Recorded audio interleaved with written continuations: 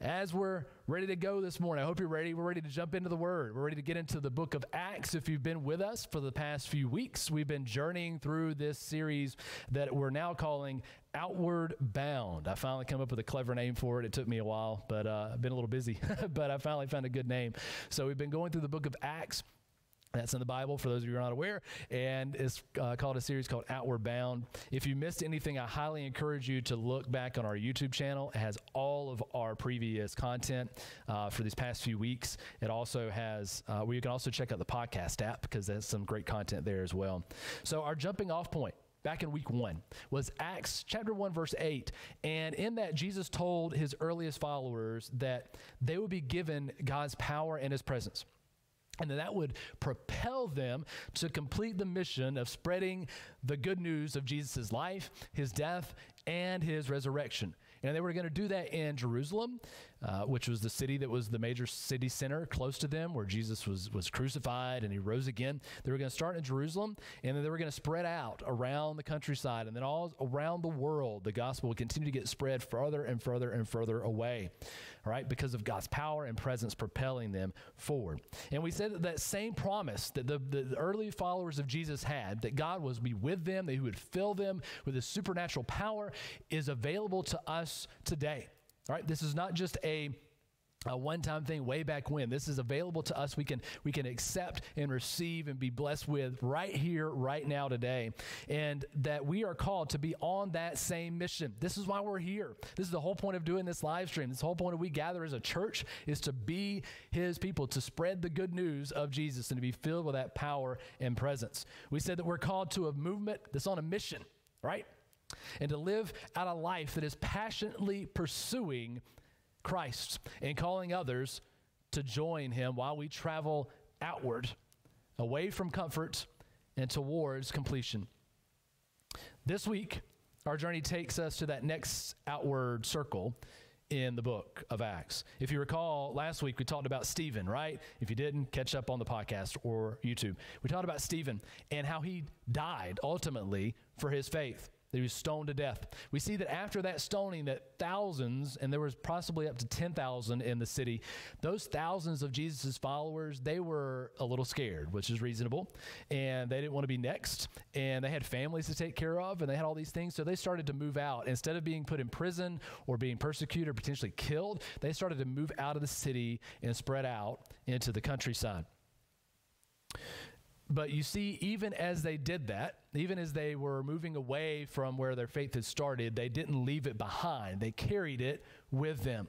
And as they traveled throughout the countryside, they would stop and tell others. You see, their lives had impacted in such a way that they couldn't stop. That wasn't an option.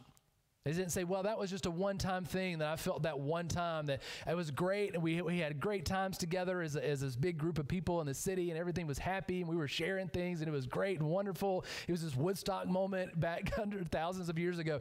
But they said, we're not going to leave it there. We've been changed in such a way that we can't go back to the way we were before. And so we're going to carry it forward and we're going to share that transformational news with everybody we meet. You see, the threat of homelessness, the threat of job loss, the threat of death, nothing was going to stop them from living forward and telling others about Jesus. So they left the city and they would stop and tell others about that transformation so that others could be transformed. One of those was a man named Philip, and that's kind of where we're going to settle this morning a little bit on this man and his journey, particularly one moment in it. He was one of the, the seven, if you remember last week, like Stephen, that had been chosen to simply pass out meals to widows. That was his job. He was to go out to the town and give out food and assistance to widows who couldn't support themselves because they didn't have families around. That was his sole job.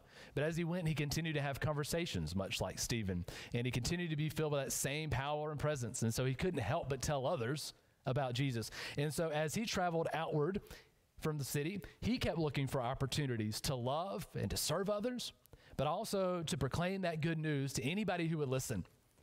Now, we're going to take a deep dive into one of those opportunities this morning. But before we do that, I want to dial it back to today. If you're anything like me, and uh, you, you probably are not, but this is my life right now, right? This pandemic, this response that we've been living through has kind of put me in a bit of a rut. I'll be the first to admit it. I, I was pretty much a homebody before. Uh, I, I, didn't really have this this this exciting life that I was living. You know, I wasn't out there on the on the front lines doing anything crazy.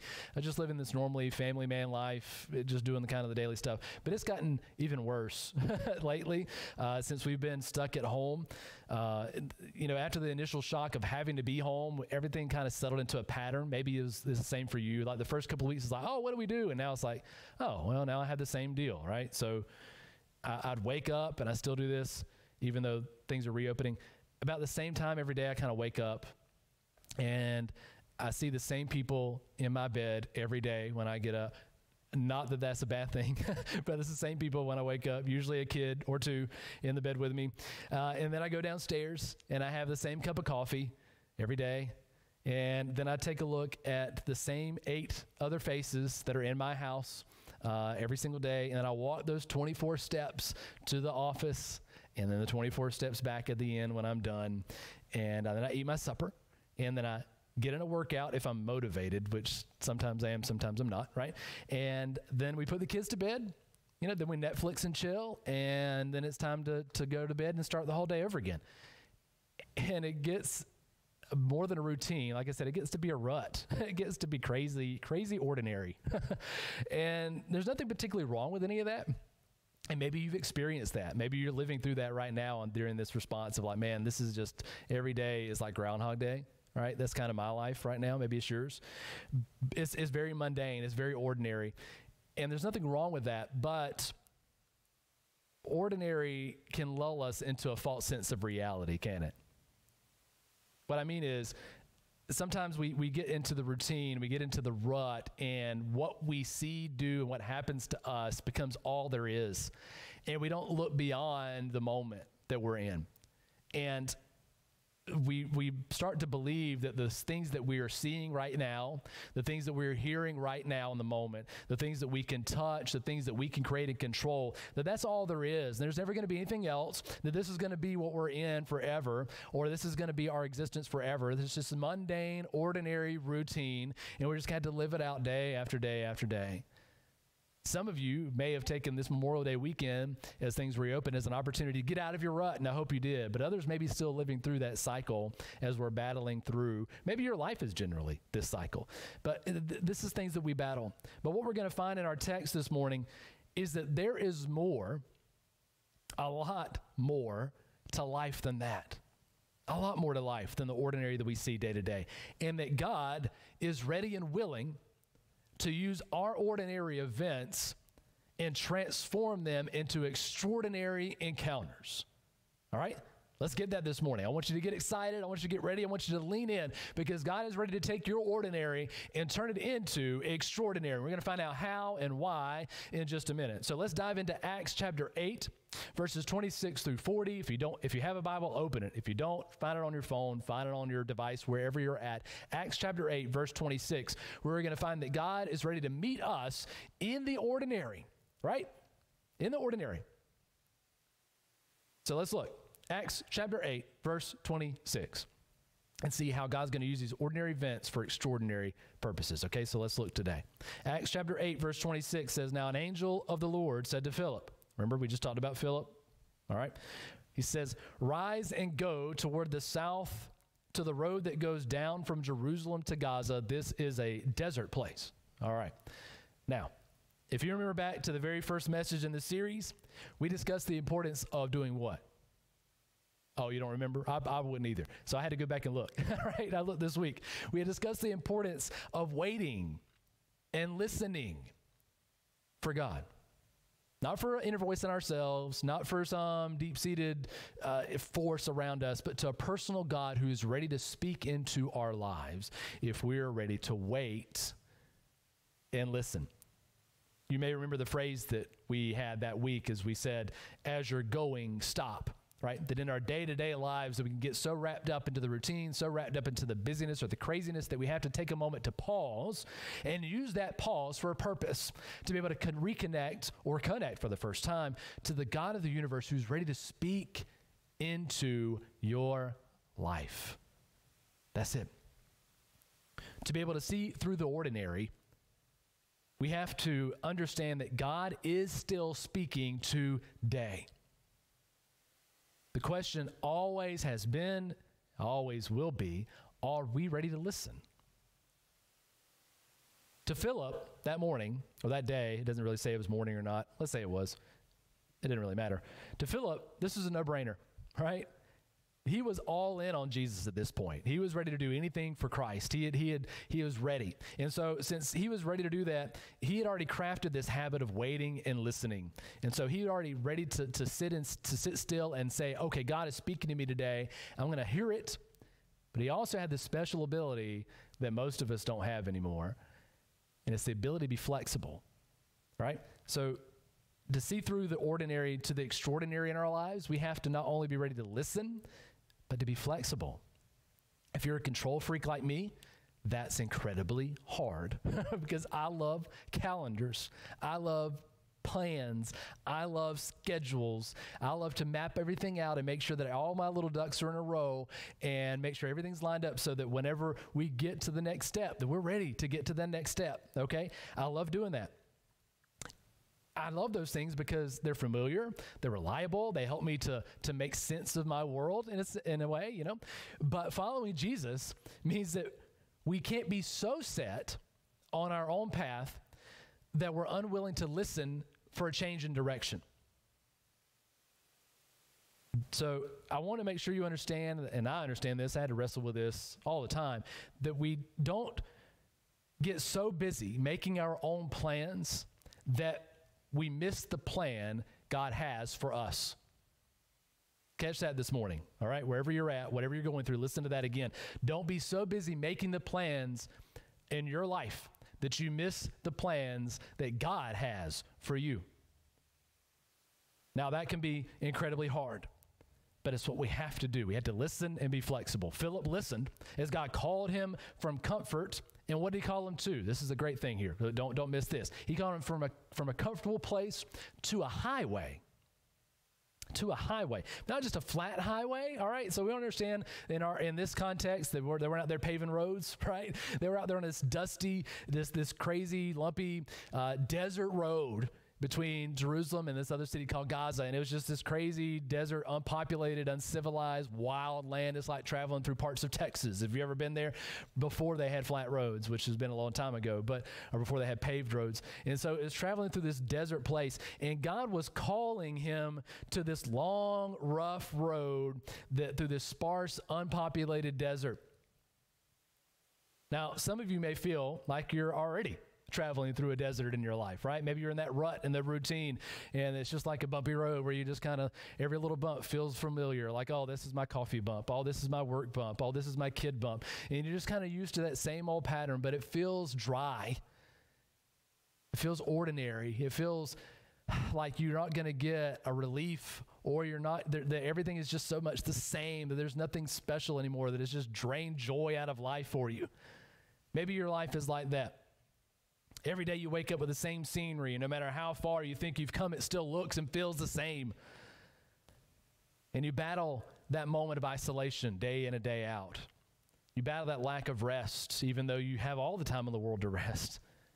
You battle that lack of peace, even though it may be the quietest time in your life.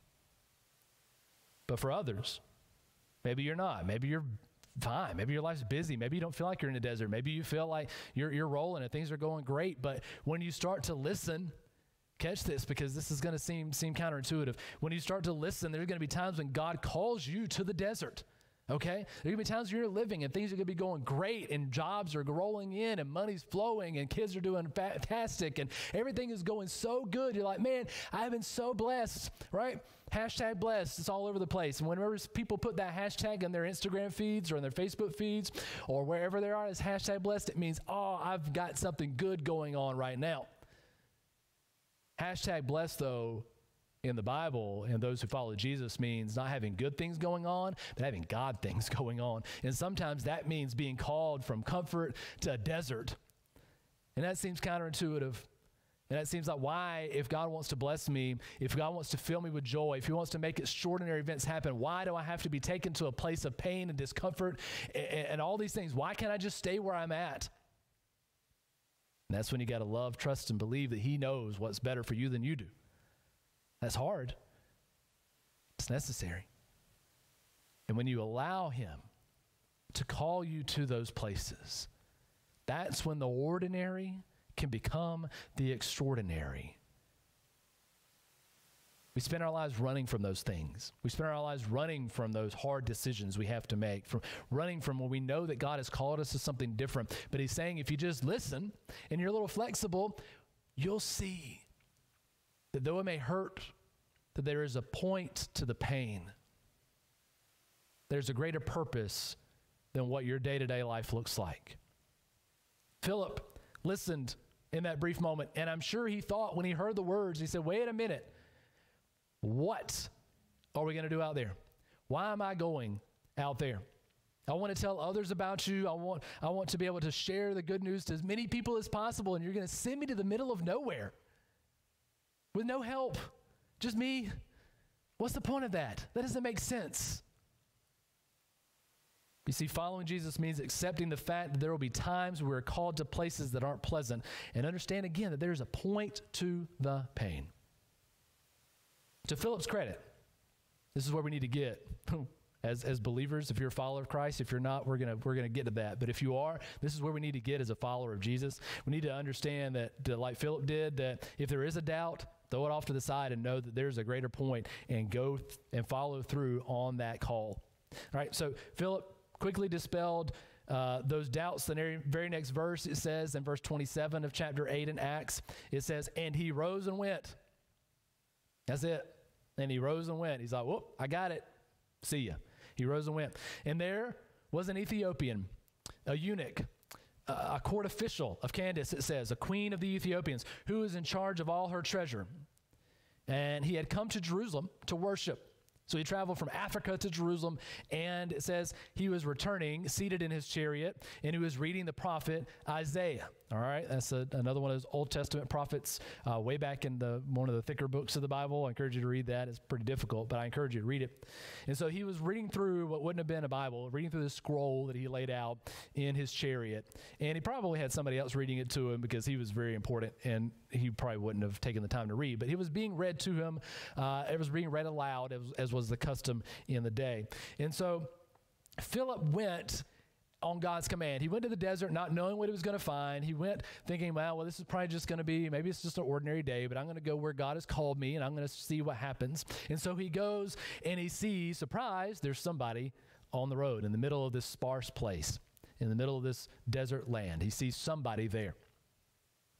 You see, obedience opens opportunity. Get that this morning. Obedience opens opportunity. And because of Philip's obedience, this ordinary road in an ordinary desert was about to become a place of an extraordinary encounter. You see, he sees this chariot, but it's not just any chariot, right? It's a royal chariot. It's a very decorative chariot. It's pulled by these, these awesome looking horses that are, that are pulling this, this, this beautiful sight through this ordinary desert road. And in this chariot, you have the eunuch. You have a couple of people around him because he probably had attendants. And uh, this, this, eunuch was was not just ordinary, right? He was an Ethiopian eunuch, a, a eunuch from Africa, but he was also in charge of the royal treasury. He had gone to Jerusalem to worship God. Apparently, he had heard about him. We don't have the context, but apparently, he at some point he had heard enough about God to know that he needed to go to Jerusalem. Maybe he'd come in contact with some some Jews in the area, and he said, "Man, I got to find out about this God." And so he had gone to Jerusalem and he bought a scroll of the prophet Isaiah and he was reading it out loud. And now, for those of us who may be unfamiliar with his concept, eunuchs are not popular in our time. Thank you, Jesus right? I'm glad I didn't live 2,000 years ago or before that when eunuchs were fairly popular because you, you know, it may have happened. All right, so for those of you who are not, not aware of what a eunuch is, uh, we need to clarify that this man is one, most likely a slave. All right, he wasn't free, he was a slave in the court of this Ethiopian queen, and he was castrated probably from a young age. All right, uh, much like if you're a Game of Thrones fan, Varys on Game of Thrones, all right? So kind of a similar story in a way, all right? So Varys like Game of Thrones, if you're familiar with that show. In their time, much like on that show, eunuchs were ridiculed. It was not a good thing, as you can imagine, guys, but even ladies. It wasn't a great thing to be a eunuch, okay? And so uh, they were ridiculed for their condition. And it, occasionally, not often, but occasionally they would be given important positions in royal courts, like this man was. But even if they did rise to a high station, they were still limited, okay? They could never have a family of their own. They would never own land. They would never pass on an inheritance. And even in accordance with Jewish law of the time, they could worship God, but they could only get so close. All right? I'm not going to explain the whole temple hierarchy, but there was there was feet of distance depending on your status in society. And so, for people who were foreigners, and particularly for eunuchs, they weren't allowed anywhere close to the inside of the temple. They had to stay on the outside, looking in. They were removed from God's power and His presence. They were cut off, not only physically, but socially and spiritually.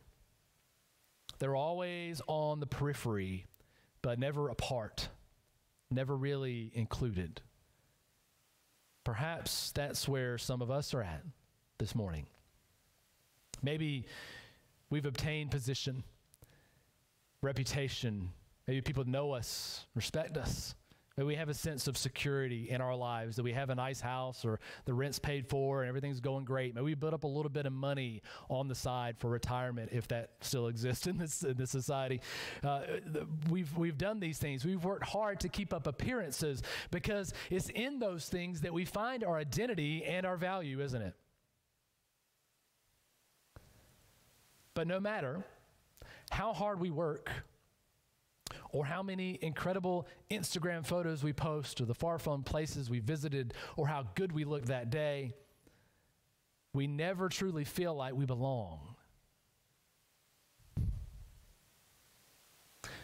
We're always just on the outside, maybe even in the midst of the crowd. Never really feeling like we're a part, never feeling like we're truly included. You see, the eunuch was in charge of a vast earthly treasure, secure in his position. He didn't have anything to worry about, he was taken care of. And yet, here he was on a dusty desert roll, road, reading a scroll, hoping that there was some way he, even in his condition, could get closer than six feet from God. He wanted, he needed a way in. He who had spent a lifetime keeping the inheritance of others wanted an inheritance for himself. And see, in that moment, riding in that chariot, reading that scroll, an ordinary occurrence, for him, just another day of the week. That ordinary day was about to become an extraordinary encounter because God's power and presence was about to move a lot closer than six feet. He was about to get in the chariot with them. Acts 8, verse 29 through 31 says, The Spirit said to Philip, so God's calling Philip back out. He says, All right, you've called you to this desert. Now you've got somewhere else to go. You see that chariot? He says, Go over and join this chariot. So Philip ran. Again, look at the decisiveness of Philip. Philip ran to him and heard him reading Isaiah the prophet and asked, Do you understand what you're reading? And the man said, How can I unless someone guides me? Because this is complicated, hard stuff, right? What am I reading? And he invited Philip to come and sit in with him. Now, that translation's okay, but I like a direct reading from the Greek a little better that says that the Spirit said to Philip, Go and stick to the chariot. Not just go over and join, hang out with, stick to it, cling to it. You see, from the outside, that chariot was probably nothing exceptional. It was decorative, sure, but it was a chariot like most other chariots. Any other day, Philip might have just made a note said, Oh, that's a nice chariot. Well, see, that's, man, I, I, really wish I could have enough money like him, and that'd be great. Philip could have just made a note and moved on. But the Spirit moved Philip to say, Go and stick to that chariot. That ordinary moment has something extraordinary inside of it, and you're going to miss it if you don't move and run and catch it right now. Jesus once told his followers, Matthew 7, 7 and 8. He says, Ask and it will be given to you. Seek and you will find. Knock and it will be open to you. For everyone who asks receives, and the one who seeks finds, and the one who knocks it will be open. You see, Philip ran to that chariot that day. He caught up to it. He stuck close to it, and he heard someone who was seeking, who was asking, who was knocking on the door of heaven, who had made a thousands of mile journey to Jerusalem, only to come back and find that he was only allowed this far in, but he wanted to get closer. He wanted an extraordinary encounter, and he was ready to do anything to get it. And so when Philip came up and he said, I don't understand what's going on, I want more. I need more. Philip said, I know the answer to your questions. I know who you're knocking on. I know the door that you're knocking on. I know who's going to open that door. Let me tell you about Jesus. You see, the eunuch was knocking on heaven's door that day in his normal, everyday mode of transportation. He's driven that chariot thousands of times, back and forth, all over the place. Every day was the same old thing, but that moment in that mode of transportation was about to become a moment of transformation because he was asking, he was seeking, he was knocking. He wasn't content to wait and see if this ordinary day would just turn out to be ordinary. He was seeking the extraordinary. Now, most of us probably don't have much of a commute these days. Maybe you do. Maybe you've been commuting. Maybe you're ramping back up. I don't know. But God can take the routine, whether it's a commute, whether it's a cup of coffee, whether it's taking a nap, whether it's an evening walk, whether it's playing NBA 2K in your Xbox One, like I do just about every day. He can take those extraordinary things, or excuse me, the ordinary things, and can make them extraordinary it's not about what we do, it's about what why we're doing it. It's about what we're seeking in those moments. Are we seeking just the ordinary pleasures from ordinary things, or are we wanting to push forward and get into extraordinary encounters? God can turn those ordinary moments into those encounters if we're asking, if we're seeking, if we're knocking. Philip ran and caught up to that chariot. He stuck to it. The moment of, of the eunuch's encounter, the moment of Philip's day, the whole pinnacle was about to come in here at this moment where they're coming together. They were about to arrive. He heard those words of Isaiah. Oh, it's so important to give this context. We talk about this on Thursday, but let's give it again. He heard this prophet Isaiah being read. He heard the genuineness in the eunuch's voice as he read and knew for that moment, he said, Man, I know why you called me to this desert, Jesus. I know that this wasn't a fluke. I know this wasn't my imagination. I know that what you call me here was, was painful, the journey was hard, but it was worth it for this moment right here, right now. You see, the eunuch was reading Isaiah 53. In Isaiah 53, the prophet described a servant who was beaten. He was killed, not for his own crimes, but for the crimes of others. And Philip explained that that man who was prophesied hundreds of years before had come. He was a man named Jesus. That He was accepted and loved by God, that he was fully included in God's family. He was one in perfect union with the Creator in heaven above, and yet he willingly stepped out, stepped down from that throne, and came to humanity not to be worshiped, but to be rejected, to be treated as an outsider to be spit on, to be mocked, to be crucified, to be excluded from the presence of God, and also that by his death and resurrection, all who believed in him would be taken from the outside and brought inside. You see, just two chapters after Isaiah 53 is Isaiah 55 in Isaiah 56 where we're going to we're going to read something from it this morning. And we're going to see how the servant who suffered and died opened the door for an extraordinary encounter. Isaiah 56 3 through 5, especially for that eunuch. Listen here. Watch the providence of God at work. He was reading from that drive back from Jerusalem. He got to Isaiah 53. He saw the suffering servant, didn't understand what it meant. Philip explains it to him, and he was going to read on his rest of the way back to his home in Africa. He was going to read Isaiah 56, 3 through 5, which said this He says, Let not the foreigner who has joined himself to the Lord say, The Lord will surely separate me from his people. Remember, he had gone to Jerusalem. He was stepping back. He was far away from God. But God said, Through the suffering servant, through my son Jesus, who died for you, you are not separated from me. Let not the eunuch say, Oh, I was speaking to him right there that day. Let not the eunuch say, Behold, I'm a dry tree. In other words, I can't have anything. I don't have a family. I don't have an inheritance. I'm, I'm dried up. I'm just here to serve others and just live out this existence. He said, Behold, I am not a dry tree. For thus says the Lord to the eunuchs who keep my Sabbaths, who choose the things that please me and hold fast, stick to that covenant, my covenant. I will give what? I will give my house, meaning I will give everything I have. And within my walls, a monument and a name better than sons and daughters. I will give them an everlasting name that shall not be cut off. Oh my goodness. You see, the eunuch thought he was going back to his house that day, but he was really about to be brought into the Father's house that day. He may have spent a life being cut off physically, socially, and spiritually, but through Jesus, those who have been cut off are being grafted back in. You see, his death and his resurrection take a people who are locked in a desert and rains down Holy Spirit water on them. You may be in a desert this morning. You may be in the ordinary routine, the rut of your life, but trust me, through Jesus, the extraordinary is here.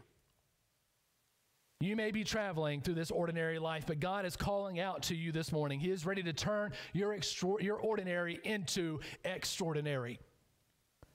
If you feel like you've been on the outside looking in and say, man, I've got all these things, I've attained all this wealth, I'm a status, I have this position, I have this authority, people look up to me, I maybe even have a great family, maybe even have everything I want, but something's still missing. I still feel like I'm on the outside looking in. Through Jesus, He brings you in the house. Jesus brings you in the house this morning. If you've been feeling like there's something more than this ordinary routine existence, if you're tired of fighting, clawing, trying to earn your identity,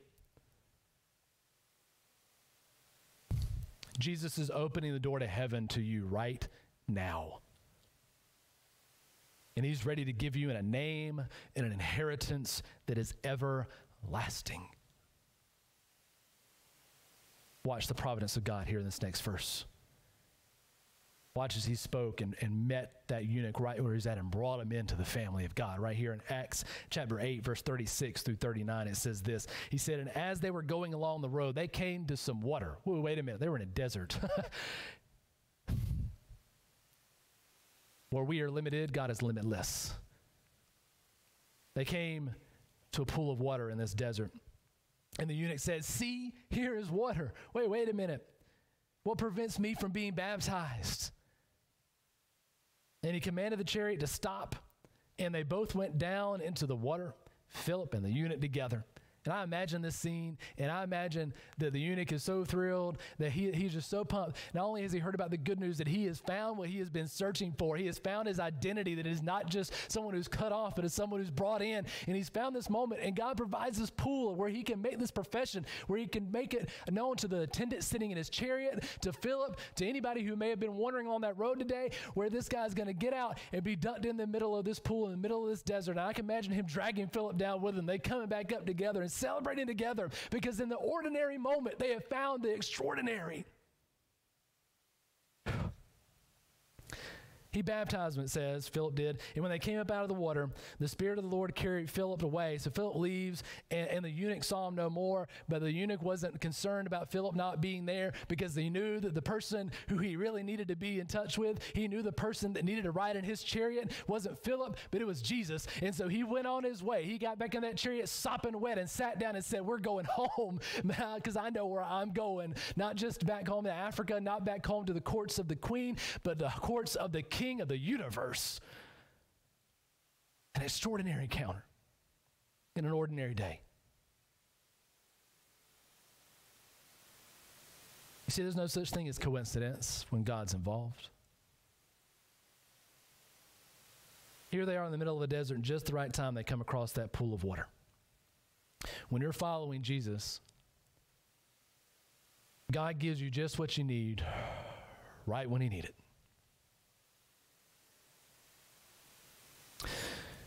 God provided that water. He didn't need it to, to be saved. He didn't need it to be brought into the family. He provided it so that the eunuch could show others that he was ready and willing to go all in on Jesus, that he was accepted, that his old life was gone, that no longer was he the cut off eunuch, but he was the son of a king, not a servant, but a son.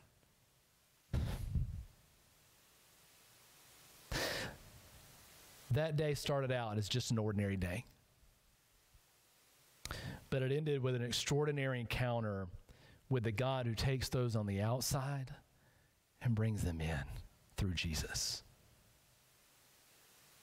If you're a seeker this morning, like that eunuch, and you're here, maybe you've been shared, this post has been shared with you. Share this post, people. If you've been shared this post this morning and you've listened and you've bared with me all the way here to, to this moment, this is for you. If you've been struggling with feeling like you've never fully been brought in, you've always had to work so hard, and you feel like if I don't work hard today, tomorrow I'm not worth it. Throw out that lie right now. If you've been going through your routine and you got into a rut and you're like, man, all there is is what I see, there is more to life than this. There's more to life than what you're going through. It's there. And Jesus is ready to bring you into that extraordinary encounter right here, right now. Do not miss this moment. Don't miss it. If you're ready to walk in to the house today, if you're ready to be brought into God's family, to give this new identity that you can never lose, that you don't have to earn, and you'll never, ever lose, all you have to do is accept Him. Say, man, I, th- this is real. This is it. This is what I'm here for. And I'm ready to believe and trust and follow you. It's not going to be easy. Philip was called to a desert. There's going to be moments where it's going to be hard, but the promise is that He makes you secure. You don't have to fight and earn it. He is the one who provides, even water in the desert. So I pray the Holy Spirit rains on you this morning where you're at if you're ready to make that decision, you're ready to say, man, I'm ready to go into the deep, into the Father's house. We're going to give you an opportunity to do that in just a minute. If you're still want to roll down the road in your chariot, that's okay too. We encourage you to make the decision, but we know that faith is a journey, and we know that some moments you're ready and some moments you're not. But we want you to keep pressing in. Keep pressing in. Don't sit back and say, ah, that's just a random pool of water in the middle of the desert. That's just, that's just a random special occurrence in the middle of my ordinary life. Ah, it's just a blink on the road. I'll, I'll move past it and just, you don't even look to catch it. Don't treat it as a one time thing. Keep seeking it because God is still seeking you. He is still ready for you this morning. When you're ready, He's ready to take you in the house. So keep joining us here week after week. When we're open back up, come sit with us. All right, six feet apart, but come sit with us and be a part of our family and let's show you what living in Jesus' house, the Father's house, looks like, okay? But if you already made that decision, we're going to give you an opportunity to do that this morning. We want you to. Don't miss that. For believers, for believers this morning, you ready? This is not going to be this is not going to be easy. We need to remember that we've all been the eunuch. We've all been on the outside and ready to look in, but we all need to be Philip. Get that this morning. We've all been the eunuch. We all need to be Philip. We've all been on the outside looking in until Christ brings us into the house. And while every day should be a celebration, that's what our Sunday morning is we're here together. And even now, we're celebrating that new life we have in Him. That even as we're celebrating that new reality, it should motivate us to bring others in, just like it did for Philip. I read this great quote this week. It says, It does little good to be in touch with the Spirit and the Word if we are not in touch with people. If Philip didn't allow Jesus' love to drive him to love others, he would never have taken a trip to the desert to bring the good news to a black man. When it happened. Never. He was in touch with people and genuinely cared for them and about them. And he used every ordinary opportunity as a means to bring the love of Jesus to them like water in a desert. Believers this morning, are we ready to do the same? Let's pray this morning as all heads are bowed and all eyes are shut, if you're a seeker and you're ready to make to accept Jesus, you're ready to walk into the house. He's already opened the door. He is already ready for you. So if you're here this morning online with us, checking us out, and you've you've come to this moment, you've lasted this long, here's your chance to get into the water, to meet an extraordinary God who loves and cares for you and is going to give you a new name that you can't earn. So if you're ready to follow through on that, if you're ready to walk into the house this morning, here's how you do that. You simply pray. It's not complicated. It's not fancy. It's not a special set of words. It's none of those crazy things. It is simply acknowledging that you need Jesus, which is hard but necessary, and that you're ready to give everything to Him and you're ready to, to be in the house. So let's pray together to meet that right here, right now. Dear Jesus, we thank you, Father, that you are here, God. Lord, as, as the seekers gather, Lord, I pray that we pray this prayer together to you. Jesus, I'm sorry I've been looking and searching and looking and searching and looking and searching, and everything I find leaves me wanting. That I've strived to look good, to be good, to do good. And it's still not enough. And every day it kind of falls into a pattern. Let's get into a rut, and I want out. And I want to be brought in that I want to be grafted in. I want to be brought into the house. Lord, please help me.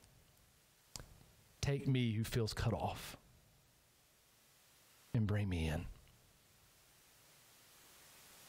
God, help me to follow you. Father, forgive me for all the things I messed up, but help me to follow you now, to live today like never have I ever lived a day, and live it all for you. If that's you this morning and you prayed that for the first time, Ms. Dawn's going to post a comment in this section. And all you got to do is like it. It's easy. Don't let this seemingly ordinary moment be missed because it can become extraordinary. So she's going to post a comment. You're going to like that. We're going to follow up with you. We're not going to call you out and, and, and harass you and send you lots of mail, all this crazy stuff. I just want to connect with you and say, hey, you've taken that first step. Now let's go the rest of the way together because it's hard to walk alone. And we're called to do it together. We're called to a movement doing this together. So we're going to walk it with you, and it's going to be awesome. So, like that comment. Don't miss it. Say, I'll do it next week. I'll do it next time. Don't miss it. Who knows what you have left? I don't know. I'm not trying to scare you into it, but you don't know what's happening tomorrow. Don't miss the moment today. For believers and, and everyone here, let's, let's close in this prayer. Jesus, help us to remember that we've been brought in the house and to remember that we have promises that are sure in you. That God, that we can be full of confidence and hope because of your life, death, and resurrection, Jesus. And God, that we know that that is the way in the house. And that God, through your life, through your death, through your resurrection, for all who believe in you, we are given a life everlasting, a life fulfilled, an identity in you that is so rich, that is so full, that of inheritance that is so much more than anything we could gather here, Jesus. I pray that we remember that, that we take take hold of that, that we cling to that hope. That God, that we share it, God, that we give it, God, that we are listening to you and listening to others who are seeking after you and say, Hey, I know of the guy you need to meet. I know of that person who is water in the desert. I know of the one who's going to bring you in the house. Let me share him with you. Let us be ready not waiting, ready to jump in when you call us, ready to share that good news with anyone and everyone that we run into, Jesus. God, we pray that in your most holy name. Amen and amen. Thank you so much, church and guests, for joining us this morning enjoy this Memorial Day. Thank you so much, veterans, for tomorrow, by the way. Thank you, thank you, thank you, thank you, thank you, thank you for all that you've done, for the sacrifices you've made. I pray that we reflect not only on your sacrifice, but on the sacrifice of Jesus on the cross as we remember this Memorial Day that saves us and gives us freedom not only in our physical lives, but in our spiritual lives as well, and for all of eternity. So I thank you for visiting us. Thank you, veterans. Enjoy your weekend, enjoy your Memorial Day, and we'll see you next week, church.